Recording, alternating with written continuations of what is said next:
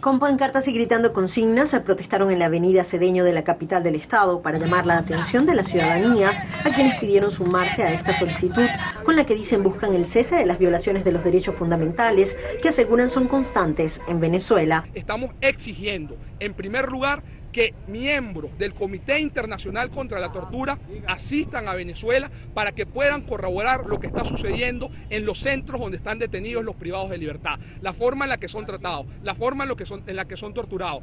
Hemos observado cómo, por ejemplo, hace una semana, producto de la tortura, murió un capitán de corbeta, pero anteriormente también murió el concejal Albán y anteriormente otro eh, activista de Primero Justicia hace dos años. Es un gobierno que no respeta la dignidad humana, que no respeta al ciudadano, que no respeta los derechos humanos que son fundamentales en una democracia. Denunciaron que en el país se contabilizan más de 700 casos de tratos crueles e inhumanos en lo que va de 2019 nada más en febrero de 780 personas heridas en Caracas. Un caso de 30 personas heridas, lo cual es considerado un trato cruel. ¿Por qué? Porque no es una tortura, porque la persona no está siendo sometida o está siendo privada de libertad. Pero la persona está siendo sometida a, casos, a, torturas, a casos inhumanos y eh, a tratos crueles, como es el caso de nuestro compañero Moisés Cordero, quien perdió un ojo por un disparo de grupos irregulares dentro del cuartel. Entonces es aproximado la cifra que nosotros manejamos y también nosotros denunciamos el caso de la masacre de los Pemones, que no es en Carabobo,